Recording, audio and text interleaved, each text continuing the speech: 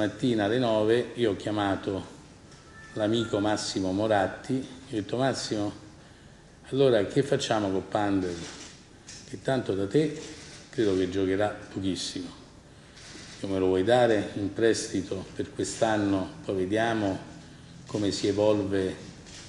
la cosa e visto che lui non è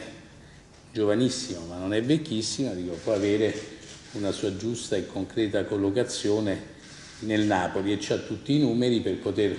convivere sia con l'Avezzi che con eh, il signor Cavani. Visto che le partite sono tantissime tra Coppa Italia e eh, quelle del campionato,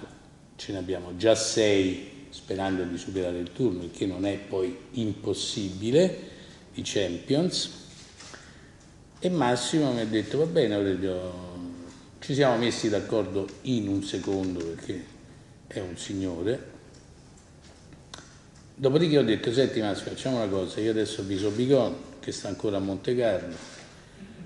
fra quanto ti possiamo richiamare in conference? Dico così mettiamo in conference Bigon, Branca, te ed io e formalizziamo da un punto di vista tecnico come vogliamo fare questo contratto. E nel frattempo io ho avvisato Bigon, Bigon ha subito rintracciato il procuratore del ragazzo, che tanto poi i procuratori sono sempre tutti preavvertiti durante la campagna acquisti, che poi si risolva o non si risolva un acquisto, è chiaro che io di Pandev non mi ho mai parlato e vi ho detto che per me il mercato era chiuso perché chiaramente volevo prima vedere che tipo di calendario avevamo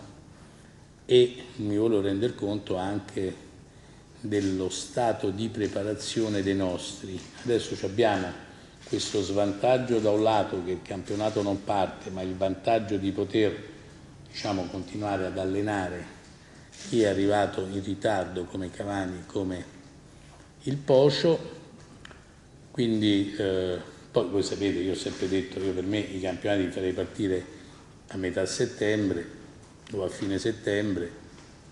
quindi il fatto di non doverci fermare semmai a Natale mi fa felice, non mi fa scontento.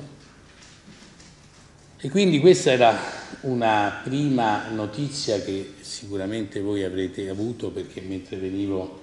in barca da Capri vedevo su Sky che già con qualche imprecisione o indecisione o chiarimento che loro stessi si ponevano stavano dando, quindi è ovvio che da questa mattina alle 9, 9, 9 e mezza, quindi alle 10 e mezza era tutto concretizzato, averla tenuta nascosta fino a qualche ora fa è già stato un record. In Italia non gliene frega un cavolo a nessuno se il bilancio del, dello Stato va a rotoli, ma per il calcio si fa questo ed altro.